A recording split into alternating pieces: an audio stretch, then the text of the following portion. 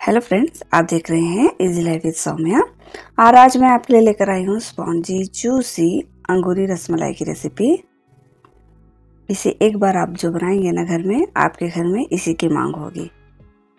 कोई भी पैकेट वाले दूध से इसे हम आराम से बना सकते हैं। तो चलिए जल्दी से वीडियो स्टार्ट करते हैं। मैंने यहाँ एक बर्तन में एक लीटर दूध डाला है। कोई भी दूध डाल सकते हैं आप। या गाय का दूध या भैंस का दूध या कोई भी पैकेट वाला दूध। मैंने यहाँ पैकेट वाला लिया है दूध। अभी इसे उबलने देते हैं। बीच बीच में इस तरह चला लीजिएगा ताकि वो मलाई जमना ना पाए। ये देखिए, इसमें उबाल आ गया है। अभी गैस को ऑफ़ कर लेंगे और इसे एक या दो मिनट के लिए ठंडा होने देंगे। पूरा ठंडा नहीं करना है।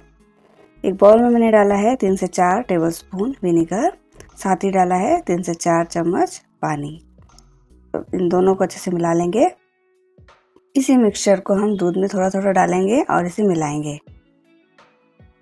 दूध को फटने तक थोड़ा थोड़ा मिक्सचर इस तरह डालेंगे और मिलाते रहेंगे। अगर आपको ज़रूरत हो तो और थोड़ा विनेगर पानी का मिक्सचर बना सकते हैं। मेरा यहाँ सारा मिक्सचर जो है यूज़ हो चुका था। देखिए, अभी अच्छे से फट गया है। तीन चार मिनट के लिए ऐसे ही रख देंगे। थोड़ा सेट होने देंगे इसे। देखिए सेट हो गया है। इस तरह मैंने इकट्ठा कर लिया है। आप चाहो तो इसे सूती के कपड़े में भी छान सकते हो, नहीं तो इस तरह छलनी से भी निकाल सकते हो। और इस पानी का आप यूज़ कर सकते हो। आटा गूंदने के टाइम या सब्ज़ी वब्जी में आप डाल सकते हो। बहुत हेल्दी होता है ये वाला पानी। अलग निकालने के बाद देखिए प्लेन वाटर से एक बार इसे धो लेंगे। विनीगर का जो टेस्ट है ना वो ताकि निकल जाए उसमें से। हल्के से देखिए, इस तरह हल्के से इसे प्रेस करेंगे। बहुत ज़ोर से नहीं।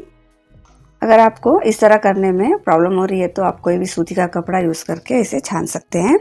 अभी छेना को 10 से 15 मिनट के लिए अलग रख देंगे ताकि जो भी बचा हुआ पानी वो भी निकल जाए। अभी मैंने एक बर्तन में डाला है आधा लीटर दूध। इस बार आप थोड़ा गाढ़ा वाला दूध लेंगे, पानी बिल्कुल नहीं मिलाएँगे और इसे उबलने देंगे। इसे भी बीच बीच में चलाते रहना होगा, ताकि मलाई जमे ना। इसमें उबाल आ गया है। अभी मैंने इसमें डाला है आधा कप चीनी।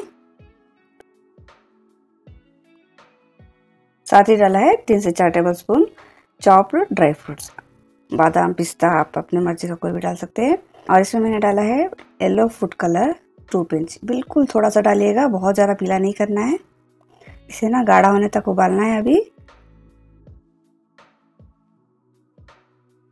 लास्ट में मैंने डाला है क्योरा वाटर, आधा चम्मच। आप चाहो तो इलायची का पाउडर भी डाल सकते हो। अच्छे से गाढ़ा हो गया है, अब इसे उतार लेते हैं, ठंडा कर लेंगे। फिर एक बड़े से बर्तन में मैंने डाला है एक कप चीनी और साथ ही डाला है पाँच कप पानी।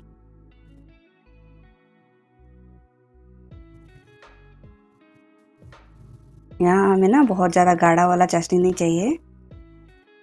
इसे अभी लो फ्लेम में उबलने देते हैं। अभी छेना की तरफ़ आते हैं। छेना में से देखिए, सारा पानी निकल गया है। छेना को अभी इस तरह तोड़ के मसल लेंगे। पूरा स्मूथ टेक्सचर में लाना है। इस तरह देखिए, हथेली की हेल्प से मसलेंगे। एकदम क्रीम जो बनाते हैं ना, क्रीम, मक्खन, उस तरह वाला टेक्सचर में बनाना है इसे। थोड़ा सा भी गांठ नहीं होना चाहिए।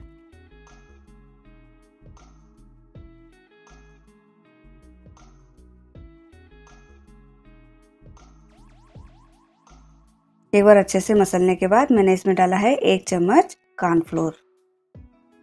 इसे भी मिक्स कर लेंगे। और इसमें बेकिंग सोडा, बेकिंग पाउडर या सूजी का इस्तेमाल नहीं किया है। इतना ही काफ़ी है। इसे भी अच्छे से स्मूथ टेक्सचर आने तक मस लेंगे कॉर्नफ्लोर डालने से ना जो आपका रसगुल्ला रसमलाई जो फट जाता है ना, चाशनी में वो नहीं होगा, नहीं फटेगा। टेक्सचर देखिए कितना चेंज हो गया है। जितना आप अच्छे से मस लेंगे उतना अच्छा आपका रसमलाई बनेगा। एकदम चिकना हो गया है, बहुत अच्छे से स्मूथ टेक्सचर में आ गया है। अब इसका छोटा छोटा बॉल्स बना लेंगे। बिल्कुल छोटे छोटे हिस्से में आप निकालेंगे इसे, देखिए इस तरह के। जब ये चाशनी में उबलेगा ना तो थोड़ा सा बड़ा साइज़ में बन जाएगा। और हम यहाँ मिनी रस मलाई बना रहे हैं ना, एकदम छोटा छोटा बनाना है। और इसका बॉल बना लेंगे, एकदम स्मूथ फिनिश देंगे। थोड़ा सा भी ब्रेक नहीं होना चाहिए। फटा हुआ नहीं रहना चाहिए, नहीं तो आपका रसमलाई जो फट जाएगा। एकदम स्मूथ इस तरह का पूरा स्मूथ फिनिशिंग देना है। इसी तरह सारा गोल बना लेंगे।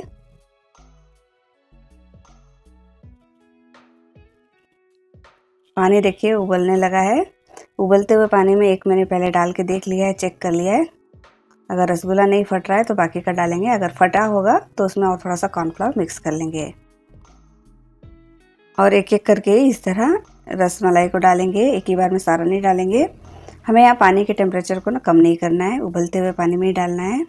आप एक ही बार डालोगे ना तो पानी थोड़ा ठंडा होने लग जाएगा।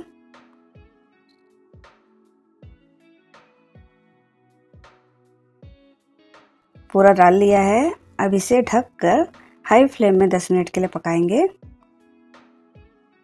10 मिनट तक ढक्कन नहीं हटाइएगा। 10 मिनट के बाद ढक्कन हटा के इस तरह चम्मच के उल्टे भागे देखिए हल्के से इस तरह घुमाइएगा। हल्का से, नहीं तो टूट जाएगा।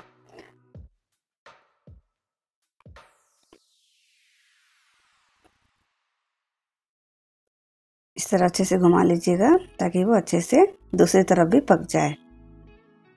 फिर इसे ढककर फिर से 10 मिनट के लिए इसे हाई फ्लेम में उबाल लेंगे। ये मिनी रसगुल्ला है तो जल्दी ही बन जाएगा। ज़्यादा टाइम नहीं लेता है। एक बार एक चेक करेंगे, देखिए। देखिए, ये अंदर तक अच्छे से पक चुका है। जिसे मैं दबा रही हूँ ना, फिर वो अपने शेप में आ जा रहा है। अभी गैस को ऑफ़ कर लेंगे। गैस को ऑफ़ करके तुरंत ये रसगुल्ले को ना चाशनी में से निकाल के आइस वाला पानी में डालेंगे। इससे ना इसका शेप भी नहीं बिगड़ेगा, इसको शॉक देंगे बस।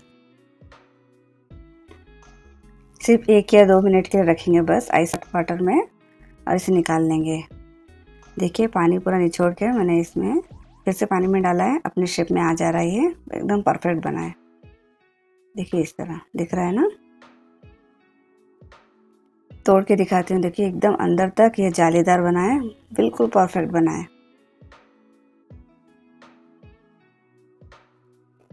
दो से तीन मिनट के बाद ना इसे आइस वाटर से निकाल लेना है और इस तरह देखिए, हल्के हाथों से प्रेस करते हुए निकालेंगे ताकि इसका जो पानी है निकल जाए। बिल्कुल हल्के हाथों से मैं दबा रही हूँ, बहुत ज़ोर से नहीं दबा रही। मैं जितना भी इसे दबाऊँ ना, ये अपने आप अपने पुराने वाले शेप में आ जा रहा है, गोल बन जा रहा है। और मैंने इसमें डाला है दूध, जो हमने उबाल के रखा हुआ था। और दूध को डालने से पहले ना, दूध को अच्छे से ठंडा कर लीजिएगा। अभी इसे ना फ्रिज में सात से आठ घंटे के लिए रख देंगे। ये मैंने अगले दिन निकाला है, देखिए, मैंने रात को बनाया था। दूध का जो मिठास है ना, पूरा अंदर तक गया हुआ है रसमलाई के। एकदम परफेक्ट बन के तैयार है, देखिए। अभी तक ये गोल गोल शेप में है चपटा नहीं हुआ है, परफेक्ट बना हुआ है। एकदम जूसी, स्पॉन्जी, टेस्टी, अंगूरी रसमलाई बन के तैयार है। अगर आपको मेरा ये वीडियो अच्छा लगा तो प्लीज़ मेरे चैनल को सब्सक्राइब कीजिए, वीडियो को लाइक कीजिए। Thank you for watching.